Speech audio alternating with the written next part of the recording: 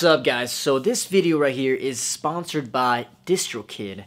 Um, so real quick, I'm just gonna talk briefly about DistroKid. DistroKid is a distribution service that allows you to independently publish your music to all major streaming platforms. It'll put it on Apple Music, on Spotify, on YouTube Music, um, and all the others, Tidal, whatever else there is, it'll put it on there. Guys, this is important because you, as an independent artist, you need to start putting your music out there. You need to start building your fan base. You can't be waiting for a label to put you on. Start doing this. It's only 20 bucks a month, 20 bucks a year to get started on DistroKid for unlimited uploads. You keep all your royalties. I mean, it's a no-brainer, guys. Start building your audience now. And because I made you watch this promotion, I can give y'all a discount. Use my use our code right here. We're gonna post in the description below. You get seven percent off. So you know, seven percent off, twenty bucks. That's an even better deal already. Go use DistroKid so people can start listening to who you are.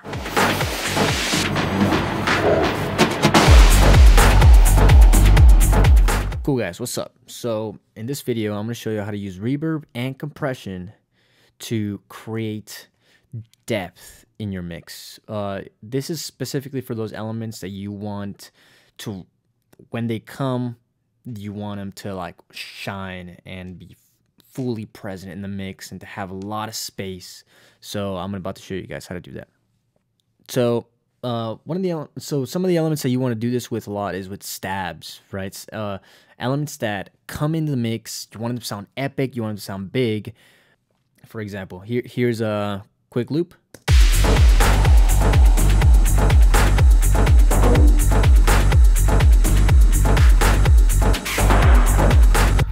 Cool. So we have this uh, these tribal stabs right here that I really like. So let's zoom in there. You know, that's a really cool one. We also got this one.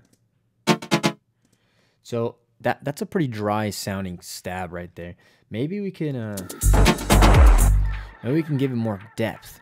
So if we just add a reverb, you know, we're actually gonna you know, it's gonna sound bigger, but we're also gonna wash it out.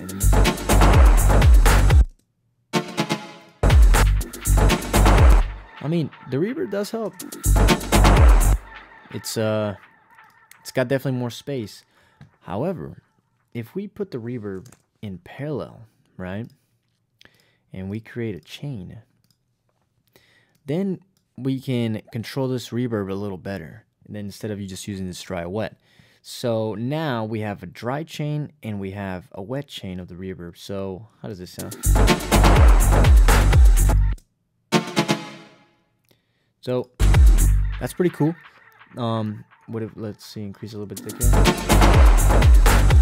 That reverb is just really overpowering though. You can absolutely tell. So one of the things we can do, we can tame this reverb with a compressor. And uh, we'll put a fast attack and really fast release time. You know, maybe like around 4 ratio. And uh, we're just going to squash that reverb.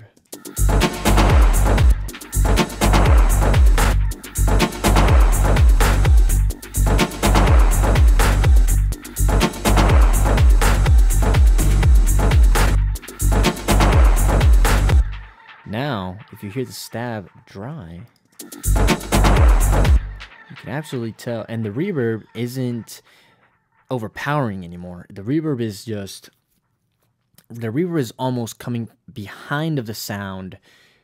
And the sound, the dry signal is in the front. So you're creating this depth.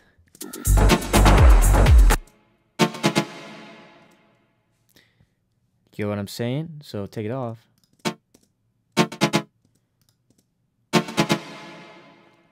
But that reverb isn't overpowering more. Take off the compressor. You know what I'm saying? Take off the chain. Take the reverb out of the chain. Let's see. You know, there's a difference between this, which isn't bad, but you get so much more control whenever you put it inside of a rack.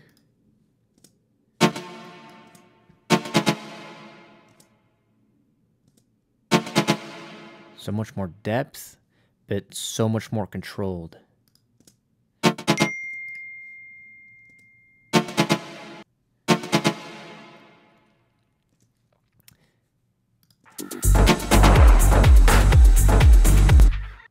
So that is one technique that you guys can use to create more depth in your mixes.